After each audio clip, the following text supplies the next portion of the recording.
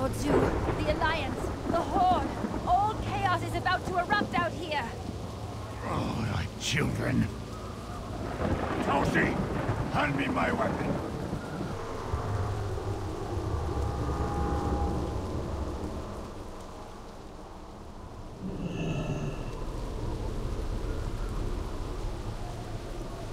Hand over the Archmage, and I may yet allow you to walk out of here, Lor'themar.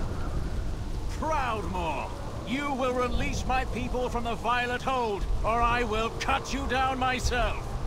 Your people are legitimate prisoners of war. They orchestrated an attack on Darnassus from my city.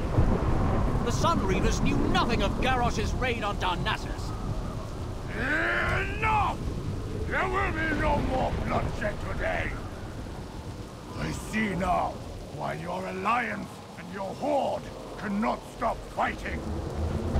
Every reprisal is itself an act of aggression, and every act of aggression triggers immediate reprisal. They have must protect my sovereign every people. attempt at peace. Silence!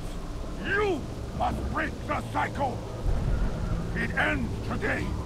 Here, the cycle ends when you, Regent Lord, and you, Lady Proudmoore, turn from one another and walk away.